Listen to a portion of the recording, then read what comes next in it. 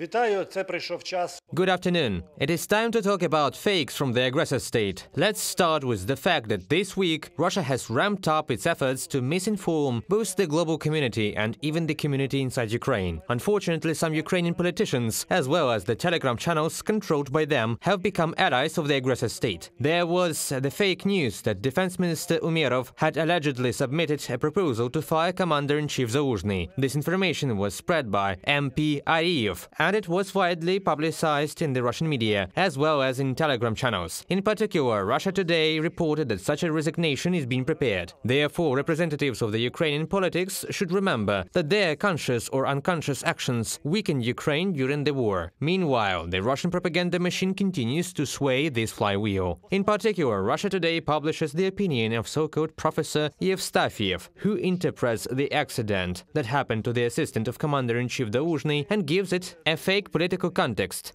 Zaluzhny's assistant, who died in a grenade explosion, was a side victim of the ongoing feud over the suspended presidential election in Kiev. And according to this, Zelensky and Zaluzhny may oppose each other. This is a lie. First of all, there is no conflict between the military and political leadership, but such reports should precisely contribute to this fake, so that it undermines the trust of Ukrainians in the Ukrainian government. Second, with such fake news, Russia's fake news makers are trying to undermine support for Ukraine from European and American partners.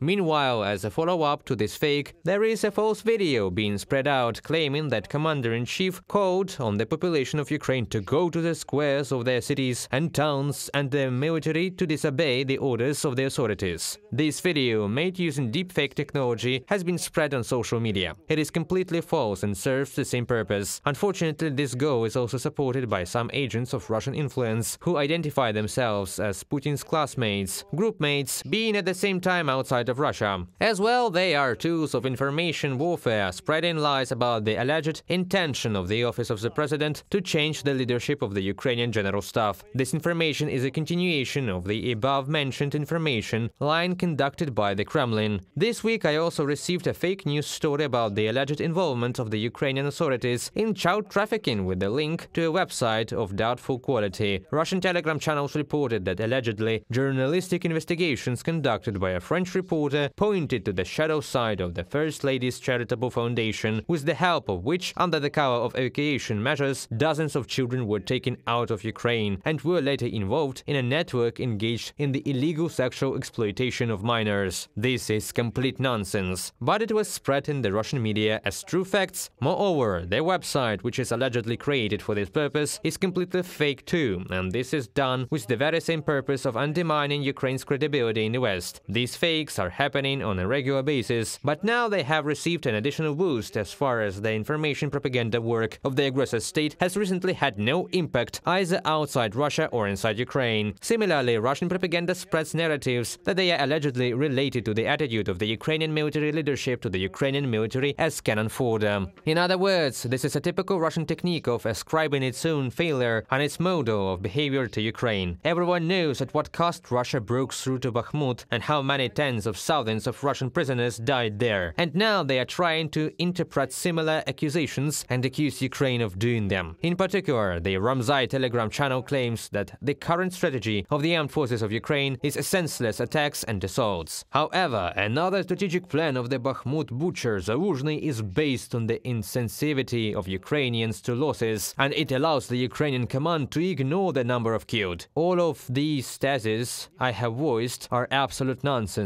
because, first of all, the armed forces of Ukraine are distinguished by the fact that they respect life of every soldier, unlike the Russian ones. Secondly, all these epithets have been used against the Russian military leadership itself, and are now simply being addressed to the Ukrainian military leaders. Moving on, among other fakes that have been heard this week, there are the traditional statements of the Secretary of the Russian Security Council, one of Russia's leaders, Nikolai Patrushev, who at a meeting with the Commonwealth of Independent States in Moscow tried to accuse Ukraine Ukraine of what the entire civilized world accuses Russia itself of, in particular using terrorist methods. Kyiv is increasingly resorting to terrorist methods against Moscow, failing to achieve success on the battlefield. It has already tried to attack the Leningrad, Kalinin and Kursk nuclear power plants, says Patrushev. This is a lie. This was done to deflect blame from Russia itself for the occupation of the Zaporizhia nuclear power plant and attacks on targets located near other nuclear power plants in Ukraine, which almost brought the country to the verge of another nuclear disaster. And Russia continues to use Western information platforms of doubtful quality to spread its narratives. In particular, Junge Welt reports that Ukraine will be able to use the vast resources of the European Union, but will not have enough power to recover from the war. In particular, this publication writes the following Kyiv will devour all of Brussels' money. Thus, in the long term perspective, the EU will be weakened and will cease to be a competitor.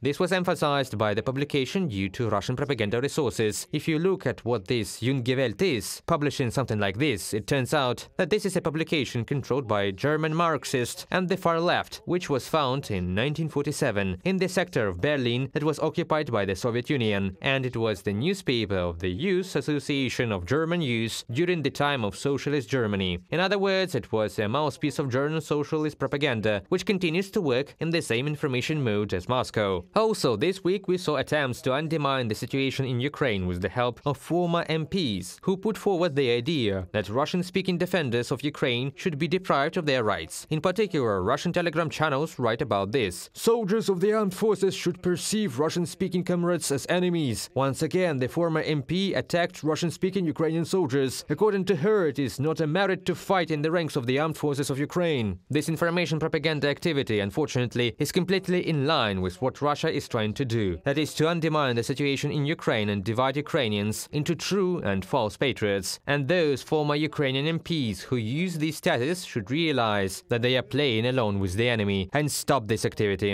Unfortunately, the media associated with the former fifth president of Ukraine are also spreading false information, in particular with reference to the head of the office of the president, saying that the head of the office stated that only one political force doesn't want to make peace with Russia, and this is allegedly the political force of the previous president. This information is completely false, and propaganda resource used a false screenshot of an online publication, and faking the pages of this publication, they even made a mistake in the name of the head of the office of the president, spelling it with a different letter. This proves once again that unfortunately Ukrainian propaganda has recently become a very convenient continuation of Russian propaganda, but inside our country. Once again, this is a reminder that we all should keep information hygiene and follow a framework that points to one only thing. We have to trust the official media, which have specific founders, which have a specific reputation, to rely on for this information. And here is the traditional call to trust the Ukrainian military and political leadership. If you live outside of Ukraine, you can watch the Russian language Freedom channel and the English language UATV channel. See you soon, and Ukraine will definitely win.